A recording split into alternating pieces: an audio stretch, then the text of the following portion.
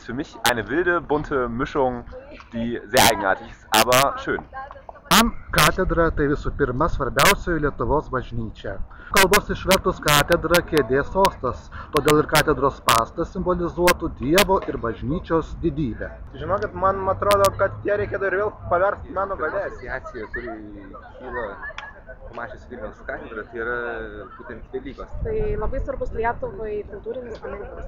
Katedra yra žiauriai geras dalykas ir aš didžiuoju savo miestu. Romantika, reiktų vandenino. Manau, kad katedra yra labai stipri energetiškai vieta.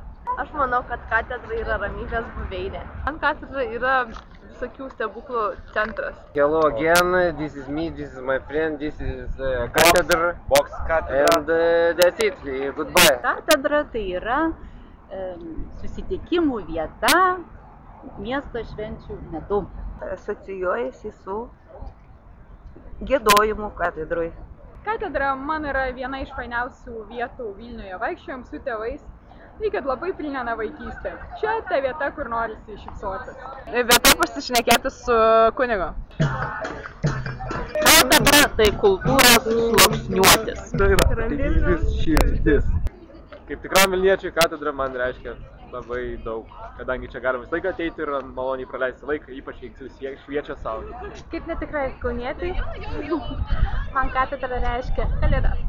Man Vilniaus katedra yra pati gražiausia, fainiausia ir pati pati pačiausia iš visų katedrų. Vilniaus katedra yra pati švenčiausia, pati gražiausia iš visų katedrų pasaulyje. Man patinka čia šokti. Man patinka čia šokti ir važinėti su dviračiu ir su skeitu. Katedra, ne ką man reiškia. Tai mergiko ateinu pažiūrėti.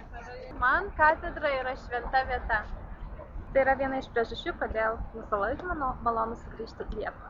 Mums Vilniaus katedra yra vienas iš didžiausių Vilniaus simbolių. Tai yra Lietuvos širdis. Man patinka e, susitikti čia. Gera vieta pabandyti žmonės, susitikti su, žmo... su draugais ir gerai praleisti laiką. Hello, uh, it is a good architecture and uh, I like it. Į katedrą. Susitink pavažinėti. Manau, tai didžiausia vieta melstis. Katedra yra Dievo namai. Katedra tai darbas, darbas ir Šiandieną kryžiaus išaukštinimo diena. viskas. Aš kai pamatau katedrą, apie ją išgirstu, man mintise iškart Vytauto laikai, krikščionybės pirmieji žingsniai Lietuvoje, tai toks istorinis ir giliai e, religinis toks pasididžiavimas. Katedra tai yra nuostabi šventovė, vedanti į Vilniaus širdį. Katedra man yra Vilniaus simbolis. Ačiū. Labą dieną, gerbėmieji.